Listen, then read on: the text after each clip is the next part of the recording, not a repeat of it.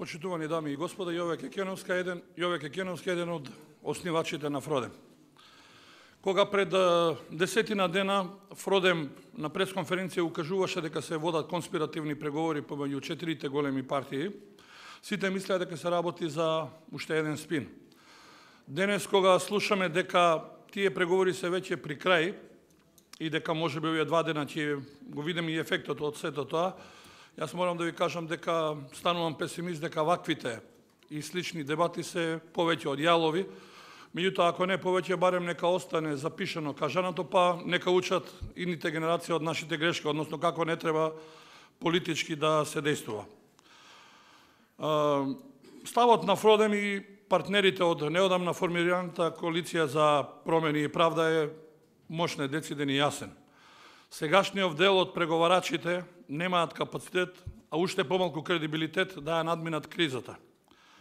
Со веќе видената и позната формула 2 плюс 2 плюс 1, тоа е формулата која што е употребена во рамковниот договор и овој пат е исто употребена, за жал, овој пат не ги даде очекуваните резултати.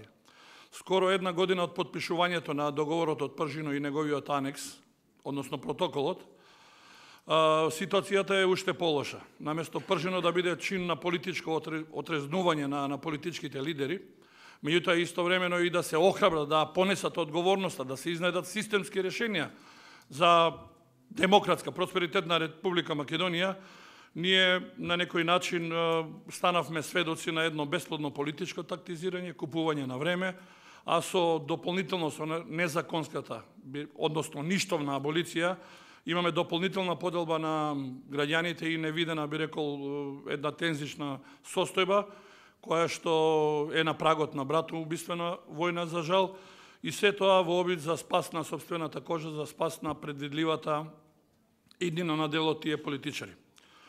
Во меѓувреме, оваа политичка криза, која што пред се беше морална криза, бидејќи таа морална криза подолго време обстојува во Република Македонија, метастазира и на другите полиња, па видовме дека стана правна, уставна, социјална, економска, па за жал дури и безбедносна криза.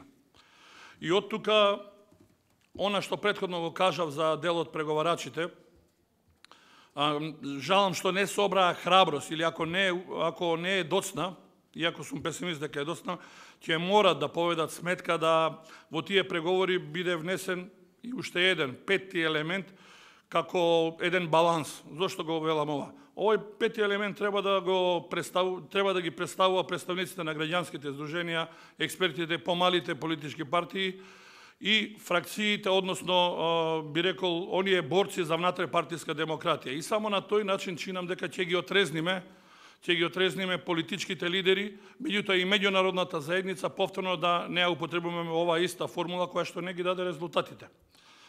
Второ, Исто така сум на ставот дека избори не треба да се одржат, меѓутоа во тој период додека не се создадат услови, не може оваа или некоја слична влада на ваков начин да функционира и понатаму, и затоа е потребна експертска влада со мандат од најмалку 9 до 12 месеци, каде министрите ќе бидат докажени експерти и така натаму и така натаму.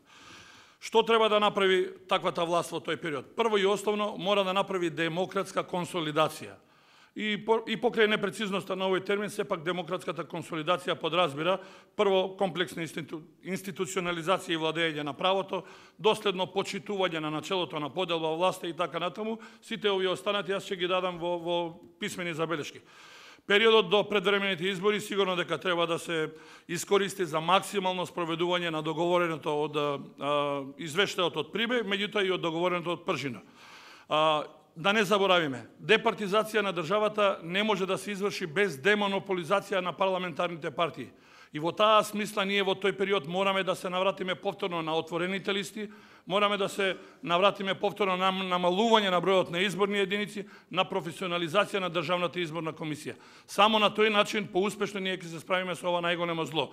И за последно да не заборавиме согласно поглавата 2, поглавието 23 и 24 од преговорите од програмата за престанување за пристапување кон ЕУ наметнува и барање за пристапување кон промена на уставот, па ако сакате еден нов подготовка на нов устав И со овие промени треба да бидат офатени во прв ред пред се оние основни институции на државата во системот на поделба на власта, односно децидно да бидат забележени кочниците и рамнотежите помеѓу трите типа на власт. Благодарам на вниманието. Благодарам и јас. Маријан Огњановски, се подготви Билјана Јовановска, па